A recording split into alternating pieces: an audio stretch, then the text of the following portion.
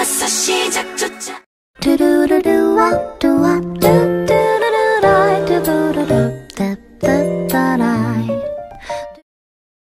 Anyo with a smile, it's Kat Style. Welcome back na naman po to another video. And yes, yes, yes, I know.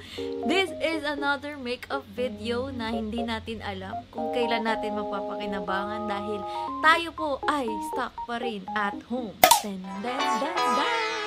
Pero syempre, papanoorin nyo pa rin ito. Yes, papanoorin pa rin natin kasi we just love makeup and buy these things. Pero on another note, why not try din naman, 'di ba? For a change, lalo na na for sure marami ang bored ngayon sa kanilang mga bahay. Biruin mo naman, isang taon na tayo na nandito po sa quarantine. And spoiler alert, guys. Ito po yung isang look na makikita nyo mamaya. Pero tingnan nyo na lang din kung paano ko gagawin from K-drama makeup look to K-pop look. And honestly, guys, I'm no expert in this kind of field, but I really find the process satisfying and at the same time fulfilling na magawa mo yung gusto mong makeup, ganon, at masabihan ka rin ng ibang tao na, uy, ang ganda ng makeup mo, ha, ganon. Pero I guess, kakanood na lang din ng sandamakmak na K-drama. And of course, watching music videos of K-pop idols and other YouTubers. Matututo ka na lang din talaga naturally. At ngayon nga, I received this makeup set from Yes Style. Woo! Yes, I! Kumukota na po ako, opo. And most especially, what caught my attention is this Sorn makeup palette. A collaboration by VT Cosmetics and CLC's Sorn. So, this palette is exclusively released only on Yes Style. So, dun nyo lang po siya mabibili, guys. So, I can't wait to share with you my experience and let's play with it. So, K-drama makeup is all about looking natural, soft, and glowing at the same time. So, mukha ka dapat character na among the crowd, pero at the same time, mafe-feel ng tao na the more you look, the more you look pretty. Ang hirap! Hindi, pero ang gist lang naman talaga niyan is K-drama makeup is all about accentuating the natural facial features of your face. Focus tayo doon sa mga mapapaganda sa mukha natin dahil maganda naman na tayo lahat, guys. Diyosa. Diyosa levels. First step or overall tip is yung base makeup. Syempre, we all know that skincare is life. So, we want to achieve that smooth, skinny skin na overall glowy yung face din natin. So, second is achieving a straight eyebrows or slightly arched eyebrows. So, ito rin yung isa sa mga na-notice ko while watching K-dramas. Um, usually, if yung character is isa protagonist or hindi siya yung masama or evil character, kilala ang straight eyebrow sa Korea dahil nga it makes your face look much more younger and more innocent. Step or tip is in K-drama makeup, very light lang ang approach and contour. So, syempre, gagamitin natin itong Don't Waste My Time Makeup Set by Sorn. And tip lang, you can also use the eyeshadow as a blush and put it near the jaw area as it will make your face look smaller and at the same time, younger. So, number four, in K-drama look, we want to achieve a natural eyeliner only. We are trying to achieve that bagong gising look pero fresh ka pa din. Ganun. Adding a few strokes on your eyelids nasusundan mo lang din talaga yung eye shape mo. Ito rin yung isa sa mga pinaka namimiss natin as uh, makeup beginners.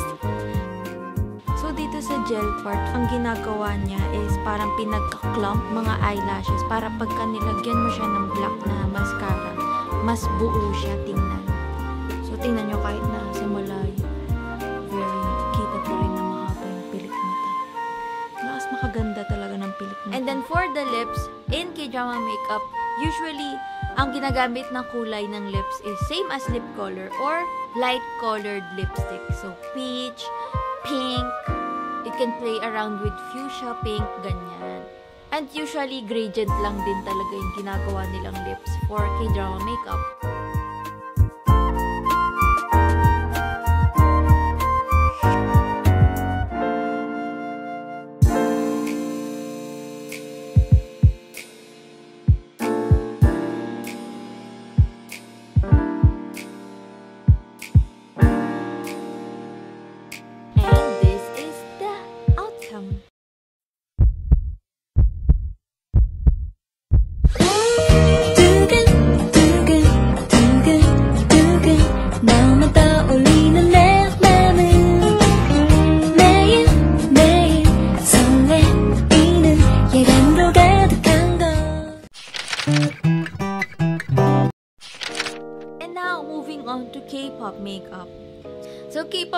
Is all about sharpness and sparkles.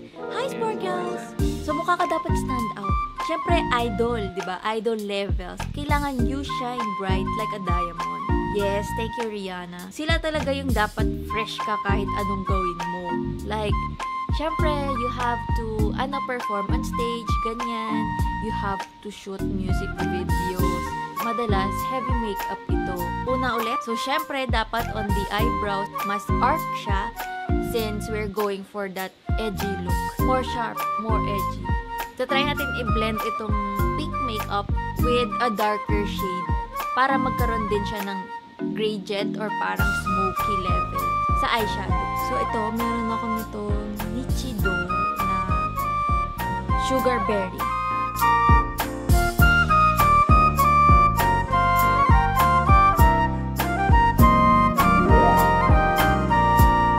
Dadagdagan din natin ang pagka-contour, syempre.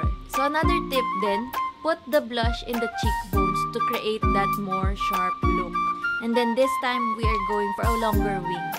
In K-pop makeup look, the overall face is shiny and sparkly. At pansin nyo rin ba sa mga K-pop makeup looks ngayon na ang dalas nila maglagay ng mga shiny items near the eye area.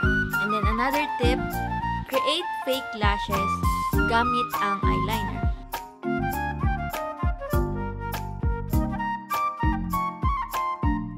para mag-match din yung lips natin to our overall makeup look, we will add a darker shade in the inner parts of our lips. Tingnan nga natin ulit kung very K-pop ba itong makeup na ito. Brave girls, ready? I feel good. I feel good. I feel good, feel good, feel good. I feel good, feel good.